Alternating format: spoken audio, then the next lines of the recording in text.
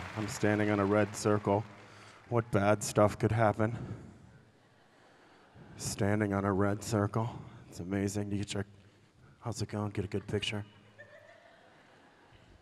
This is a good one. Do this one. You want this one? Cool, man. So I'm on the couch uh, with my girlfriend, and uh, she says, Hey, would you be a good boyfriend and go get batteries? And at that moment, I was like, Wow, that's all I have to do. Like, she just gave me the answer to all the questions. She's like, If you go get batteries, you're a great boyfriend. This was exciting and sad because I've been in so many other relationships before that didn't work. And not once did I know that all I needed to do was go get batteries.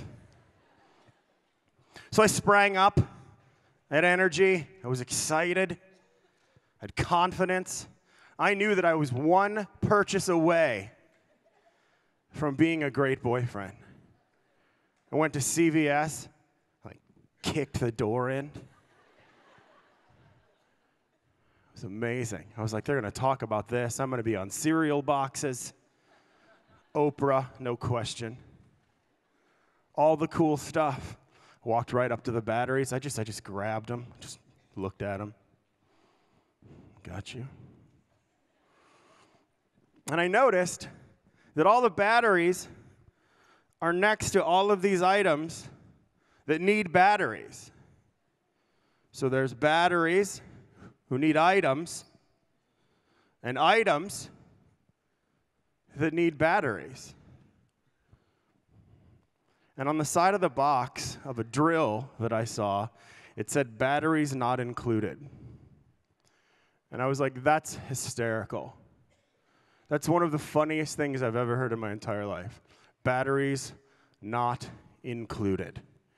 How can I, as a comic, turn that into a joke? What vehicle would I put the batteries in to heighten the very funny sentence, batteries not included?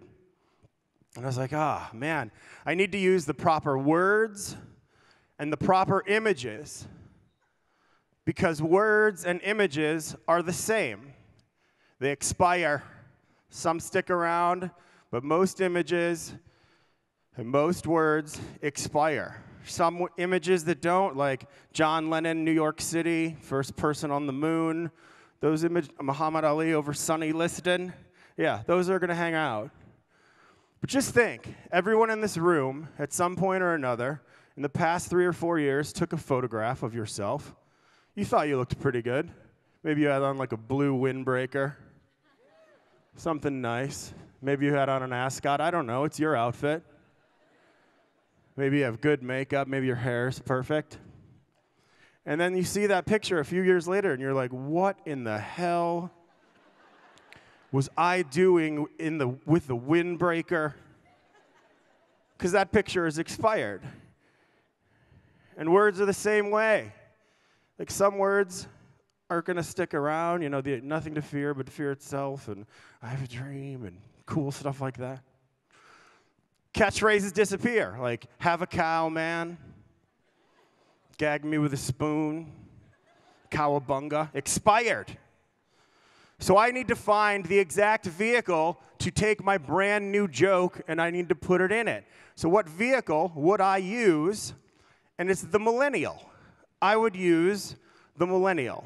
Because millennials are tough, they're strong, they're brave. They do this a lot. Also known as the Michigan clap, by the way. You guys usually do this around the third quarter of all Lions games. Yeah.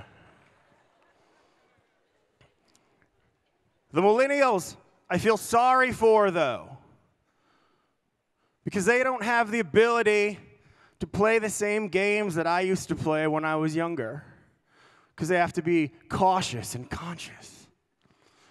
Like now, millennials on the playground would have to play games like Simon Suggests. Oh, yeah. Can you imagine explaining Simon Says to a millennial? All right, check it out. There's this old dude, and uh, he's going to tell you what to do. And if you don't do exactly what this guy you've never met before says, you're canceled. They would be emailing so many people. All right, what game could we play instead? Tag with consent. You're it. No, you're not. I'm it. You're right. I'm sorry. Duck. Duck identifies as goose.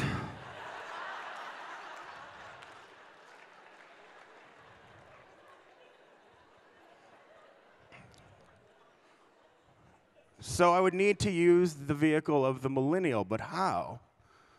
Some jokes I've told that were very funny at the time have expired. When I was on The Tonight Show, I did this joke, and it was so you think if a Chinese kid gets a toy, he's like, oh my God, I totally remember making this. exactly. Some of you are like, oh, because it's expired. But shame on all of you. Shame on all of you, because when, I, when it happened, when I wrote the joke, I was at a toy store. I saw a package that said made in China. And I thought, well, what? I wonder, I wonder if Chinese kids get toys. And what if this is a job this kid had after school and it wasn't a sweatshop? Just a regular shop. And he made it and he went home and his uncle's like, well, you know what? Jeff needs a toy. Bam. That's what I thought, but you guys were like, boo. Here's another example. Don't you hate it when the Amber Alert is your vehicle description?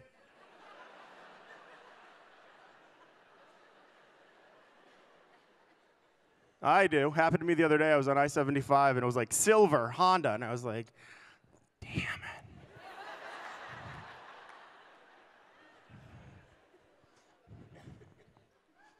Have I been there the entire time?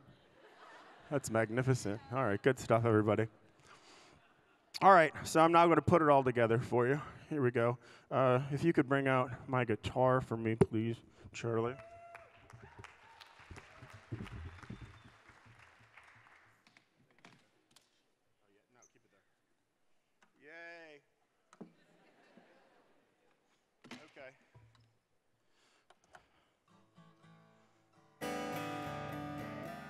This is my impression of a millennial comedian.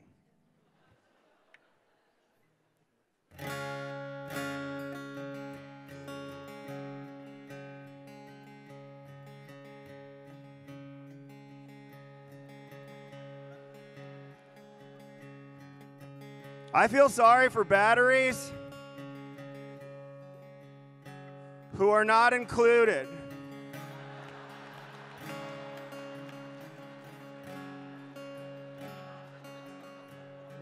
That took a lot of work. Shout out to the fourth responders.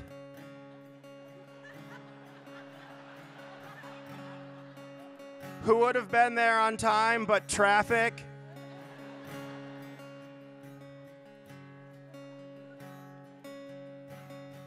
Why isn't military sex called honorable discharge?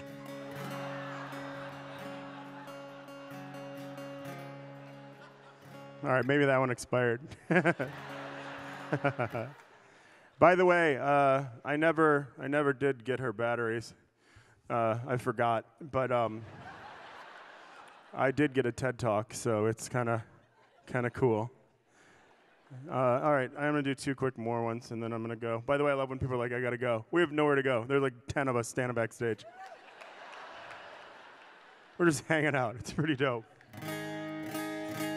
Song, this song is for anybody who has ever posted photographs of themselves at the gym.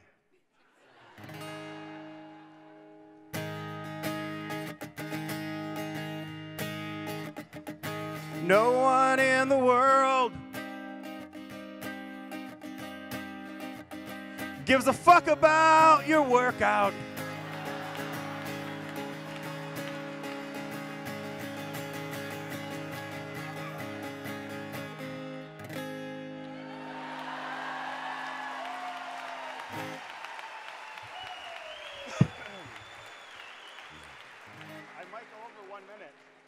Kidding.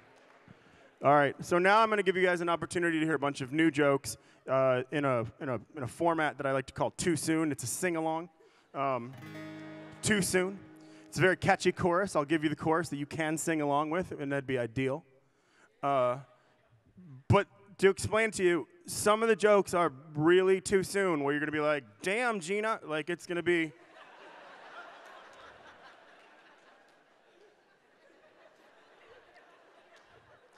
Now, they sound worse than they are. So if you think about it, I can defend each and every one of these jokes. But initially, your trigger reaction is going to be like, and I'm prepared because there is a catchy chorus.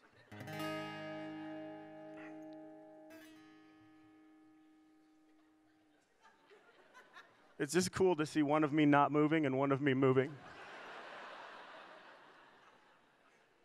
By the way, this shirt that I have that says Detroit thinks you suck, um, I had them made because I tour a lot, and a bunch of people are like, Where are you from? And I'm like, Detroit. And they're like, Detroit sucks. I'm like, Detroit thinks you suck.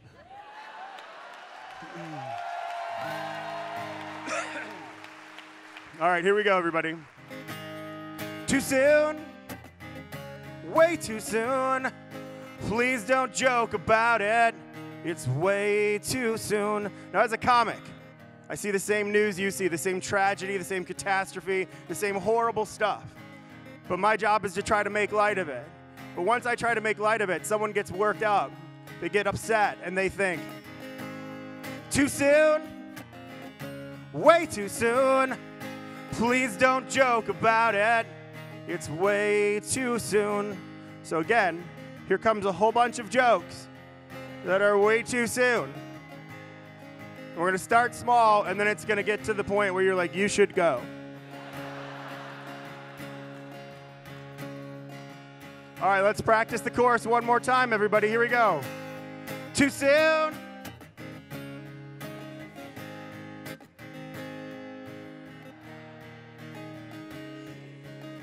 Okay, JFK.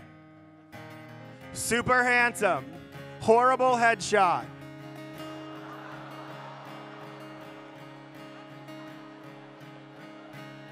It was 53 years ago.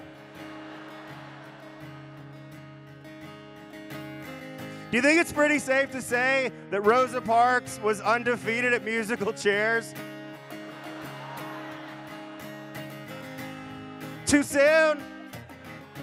Way too soon. Please don't joke.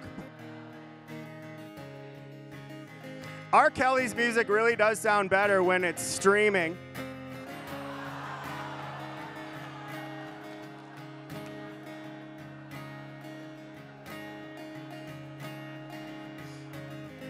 People are saying that Renee Zellweger doesn't look at all like Judy Garland in the new Judy Garland biopic. Um, Renee Zellweger doesn't even look like Renee Zellweger. Oh, that's terrible. Too soon? Way too soon. Please don't joke about it.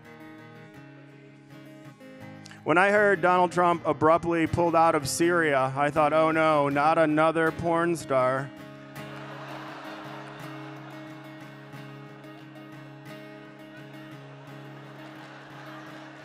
That wasn't political at all. Go ahead, try to make it political. All right, this one's gonna be tough. I was dating this girl and she's like, I want you to treat me more like a princess. So I said, okay, no problem, I get you. So I called a bunch of my friends up. They came over to my house, piled in the back of my car. We got some cameras. We chased her around until she crashed into a tunnel in France. I love that you're shocked that I'm doing exactly what I told you I was going to do. All right, I'll do one safe one and then one last one we'll get out of here. Here's a safe one. I just ate. Should I go swimming?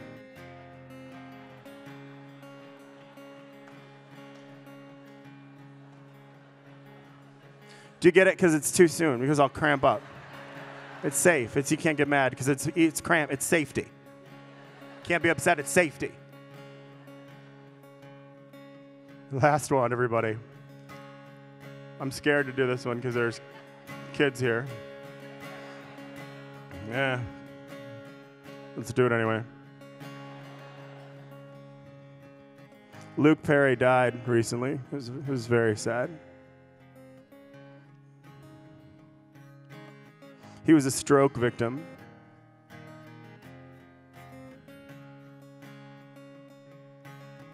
Michael Jackson's accusers were also stroke victims.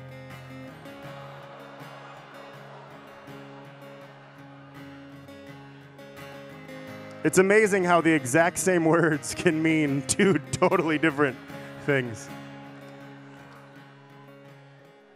You have no idea how excited I am that everyone just got quiet. That's the best thing ever. I just won. All right, last one, everybody. Please sing, and then I will leave. This has been an amazing experience. It's so so great to come home and do this, and I had so much fun. Thank you for being here. Last one, last one. Premature ejaculation. Come on! Loud! Three, two, one, and two, six. Louder! Please don't joke about Detroit.